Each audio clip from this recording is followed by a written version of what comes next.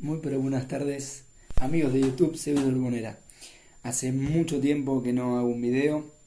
Hoy quiero hacer un videito, eh, más que nada, para aquellos que recién comienzan, no saben cada cuánto alimentar y tener presente la reproducción de las lombrices. Cada cuánto se reproducen, cuántas se reproducen, etc. En internet hablan de que la población se duplica cada tres meses. Ahora voy a hacer una lista que va a ser un poco larga. Vamos a poner varios supuestos eh, y varias características de la reproducción y vamos a ver en realidad en potencialmente cuántas lombrices podríamos eh, ver con juveniles y huevos en nuestro compostador después de tres meses. Vamos a poner varias cosas en claro. Una lombriz eh, pone un huevo cada dos días dos días y medio. Vamos a poner un promedio que pone eh, tres huevos por semana. ¿Sí? Tres huevos por semana.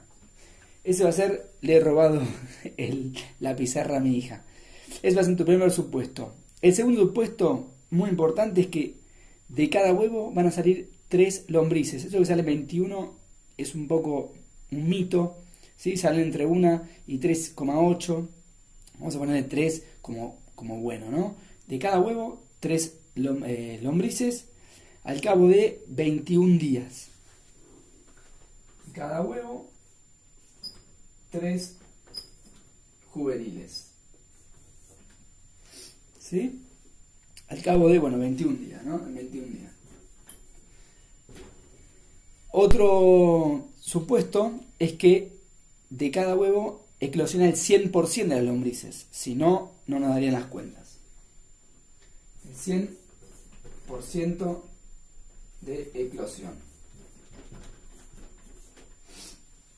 Y otro dato que vamos a poner como supuesto, si las condiciones ambientales, de comida y demás son óptimas, que cada juvenil tarda 6 semanas en convertirse en adulta. Una juvenil, después de vamos a poner 6 semanas, 42 días. Se hace adulta. Voy a acercar para aquellos curiosos. ¿eh? Tenemos que una lombriz pone 3 huevos. Eh, perdón, acá es por semana. Eso es por semana. Ya hay un error. Por semana, 3 huevos por semana. Que de cada huevo van a salir 3 juveniles al cabo de 21 días, que el 100% eclosiona y que cada juvenil tarda 42 días en convertirse en adulta. Ahora les voy a mostrar una lista que fui haciendo, lo que vamos a encontrar en, al comienzo de cada semana. Aquí vemos la pared de mi hija completamente pintada. Bueno, ahí les muestro. Bueno, acá como verán es bastante complejo eh, porque es largo, son muchas semanas, que son 12 semanas, 3 meses, ¿no? Acá hemos puesto uno, semana 1, vamos a suponer que tenemos 100 adultas, ¿sí? Al cabo de la primera semana, o sea, semana 2, vamos a encontrar 100 adultas y como dijimos, 300 huevos de la primera semana.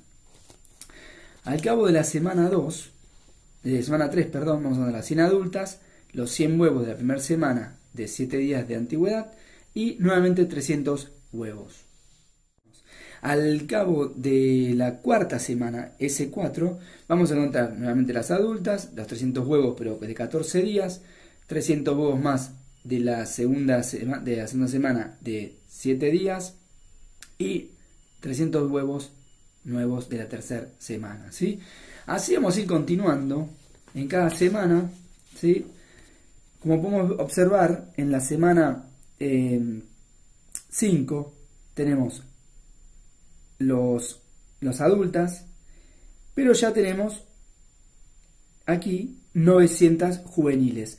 ¿Cómo llegan aquí? Son los 300 huevos de, las, los 14 días, que como hemos hecho en el supuesto, que un huevo eclosiona en 21 días, dándonos 3 juveniles por cada huevo. Entonces, los huevos de que tenían 14 días aquí, que eran 300, en la quinta semana encontraríamos 900 juveniles de la primera semana. Obviamente, más los 300 huevos los 14 días, 300 huevos más de los 7 con 7 días y 300 huevos nuevos de estas 100 adultas que pusieron. Vamos continuando así cada semana, ¿sí? Voy a adelantar un poco porque em, para no aburrir tanto, eh, lo importante acá, bueno, van a ir viendo, ¿no? Que, van eclosionando en cada semana. Yo, si quieres, hago una lista después de Excel. ¿eh? En cada semana podemos ir viendo que los que tienen 14 días en la siguiente semana van a ser 900 juveniles, etcétera, ¿sí? Pero voy a hacer un quiebre eh, en la semana 10. Aquí abajo, semana 10, hacemos un quiebre. ¿Por qué? Porque las primeras 900 juveniles llegaron a los 35 días de edad, o sea, 5 eh, semanas. Nosotros hemos dicho que a las 6 semanas las juveniles se convierten en adultas. Por ende, en la semana 11 vamos a encontrar las 100 adultas, pero esta vez 900 adultas nuevas que venían de siendo juveniles de 35 días y aquí ya son adultas. ¿Qué pasa? En la semana 12 tenemos las 100 adultas del principio, las 900 adultas de la primera generación, digamos. Estas 900 que ya están de 35 días van a pasar a ser adultas. Pero si bajamos, vamos a encontrar los huevos, como siempre, de las 300 huevos de las 100 adultas que tenemos siempre. Pero ya estas 900 han puesto 3 huevos por semana. O sea, en esta semana 12 eh, exactamente, vamos a encontrar 2.700 huevos de la primera semana de la primera generación. ¿Qué vamos a encontrar al final de la semana 12 y al principio de la 13, o sea, al cabo de 3 meses, ¿sí? Vamos a encontrar, aquí están, los 100 adultos que estaban, los 900 adultos de la primera generación, 900 adultos de la segunda generación, 900 adultos de la tercera generación. ¿Sí? Huevos, bueno, en total son, eh, ya no leo al revés, 2.800 adultas. ¿Sí? Huevos vamos a encontrar de todas las clases y generaciones, ¿sí? De la primera generación, etc. Eh, perdón, juveniles. Y los huevos. Y acá lo importante es que ya la segunda generación de adultas generó otros 2.700 huevos. Entonces, al final de, las, de los tres meses vamos a encontrar 2.800 adultas, em, ¿cuánto dice? 5.400 juveniles y 9.000 huevos.